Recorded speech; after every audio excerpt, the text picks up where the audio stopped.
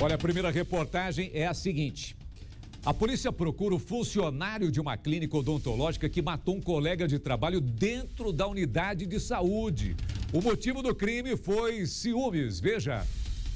A clínica encerrou o expediente. O crime deixou os funcionários chocados.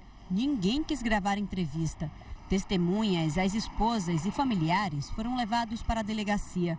O coordenador de operações cirúrgicas, Aldo Lopes do Nascimento, de 28 anos, foi morto pelo amigo João Ricardo Amaral, de 33 anos, analista de informática. Os dois e as respectivas esposas trabalhavam aqui. O motivo do crime seria ciúmes. O João Ricardo estava desconfiado que o Aldo estava tendo um caso com a mulher dele.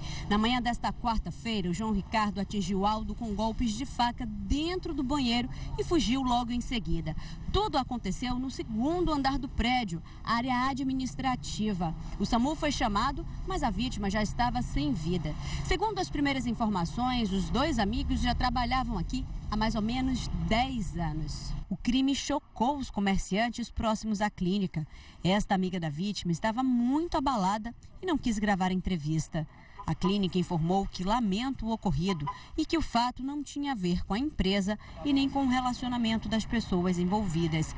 O caso está sendo investigado pelo Departamento de Homicídio e Proteção à Pessoa.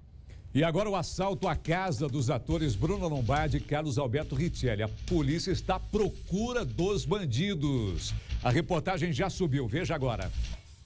O casal de atores passou um susto na manhã de quarta-feira. Bruna Lombardi e Carlos Alberto Richelli estavam em casa, no Morumbi, zona sul da capital paulista, quando a residência foi invadida por criminosos. Toda a ação aconteceu nessa rua, aparentemente tranquila, e durou cerca de meia hora. De acordo com a polícia militar, pelo menos seis pessoas participaram do assalto, enquanto três homens armados, eles rendiam seguranças aqui da rua, que fica bem ali na frente. Outros três entravam na casa da atriz e faziam a limpa. Depois disso, o grupo conseguiu fugir e até o momento a polícia não prendeu ninguém. O valor dos objetos levados não foi divulgado. Ainda de acordo com a polícia, um dos vigias que foi rendido pelos bandidos foi colocado dentro de um carro prata. Ficou lá cerca de 30 minutos até que o assalto terminasse. Depois disso, o grupo de criminosos liberou segurança, que veio até o 34º Distrito Policial para fazer um registro de ocorrência. O celular de um dos vigilantes foi roubado. Já os atores não registraram boletim de ocorrência. Casal passa bem, mas não quis dar detalhes sobre a invasão. O bairro do Morumbi, conhecido por ser uma área nobre da cidade, tem ficado em evidência também pela violência. Ricardo cresceu no Morumbi, mas por conta do medo saiu do bairro. Ele e a família também foram vítimas dos criminosos.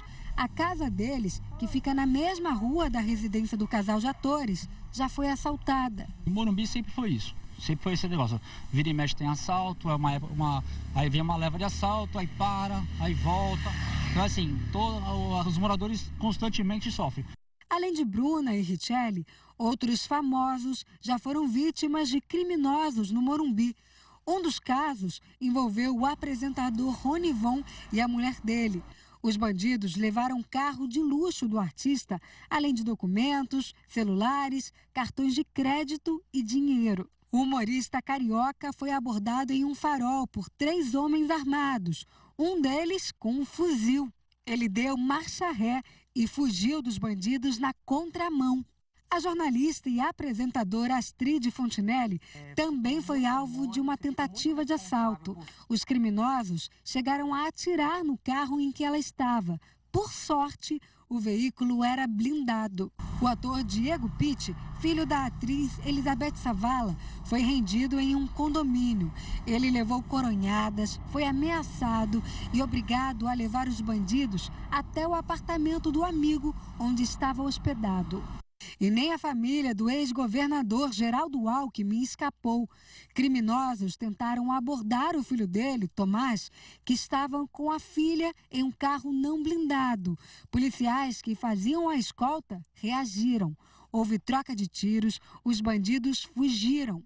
O cunhado de Alckmin, Ademar César Ribeiro, irmão de Dona Lu, teve a mansão invadida por quatro criminosos. O empresário chegou a ser agredido com socos no peito e no estômago e ficou a todo tempo sob a mira de um revólver. Os bandidos levaram joias, relógios, dinheiro e um revólver calibre 38. Casos mais recentes assustaram os moradores. Há dez dias, dois criminosos invadiram a casa de um delegado da Polícia Federal. Houve troca de tiros e o delegado foi morto. Os bandidos foram presos. Um deles ficou ferido. Há uma semana, um empresário foi morto durante um assalto a uma padaria. Alexandre Miller, de 49 anos, era amigo de um policial civil que ficou ferido. O bairro também viveu momentos de terror quando policiais civis e bandidos entraram em confronto durante uma tentativa de invadir uma casa. Dez assaltantes morreram. Essa moradora, que prefere não se identificar, conta que a rotina na região mudou com a onda de crimes. Ela diz que anda sempre desconfiada. Todos aqui tomam muito cuidado todos ficam com atenção, uh, redobro até a atenção, cuidado quando abrir e fechar o portão, porque a situação está a mesma. Tomar muita atenção, muito cuidado, né?